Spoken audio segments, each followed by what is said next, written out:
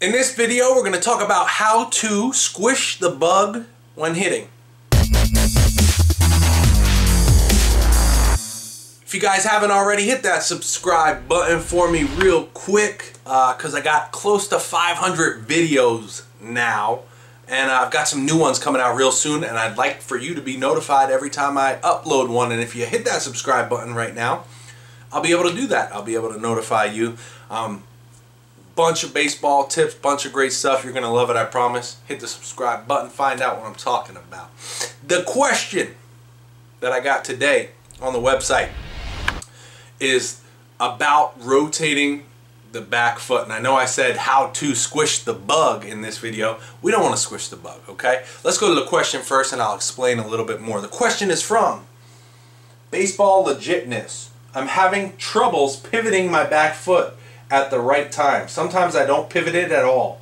I seem to be fine at it when hitting off the tee, but not when live hitting. Any suggestions or tips? A video would also be helpful. Sam, what's up Mr. Sam man? I hope everything's going well. Here is your video. Um, as far as rotating the back foot, you might have heard that called squishing the bug. We actually don't want to do this. What we want to do instead is drive off the back foot and then rotate as we're doing that. It's a little bit of both, okay? But it's not just a rotating. It's not just a spinning, okay? We want to drive. We want to knock that knee in and drive it towards the ball, okay? Now, a couple things you can do to work on this. Here's your tips that you asked for.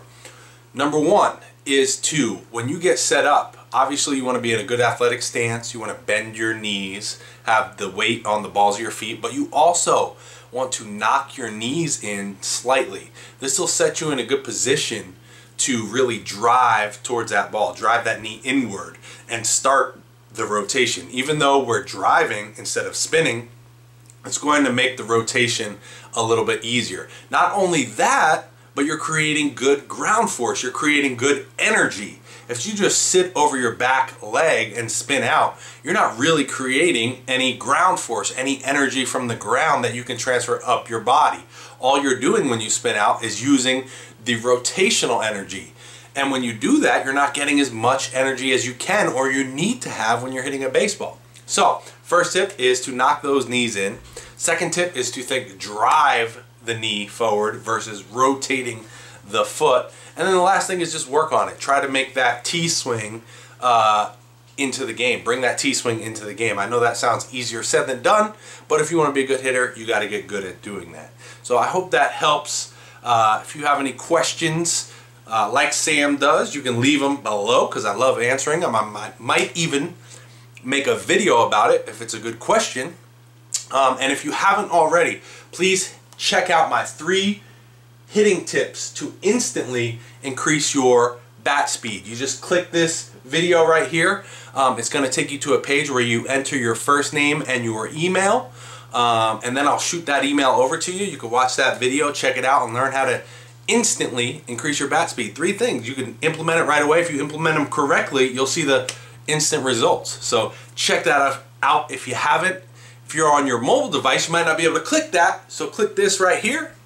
Uh, that'll also send you to the same page. Enter your first name and your email, and I'll shoot you that video right away. If that doesn't work, there's also a link, the first link in the description box. So I hope that helps, guys. Give me the thumbs up if you like this video. Subscribe, of course, because I got a bunch of new videos coming out, and I want you to be notified. And leave me a comment. Like I said, I might answer it on video like I did for Mr. Sam. Hope you guys enjoyed it.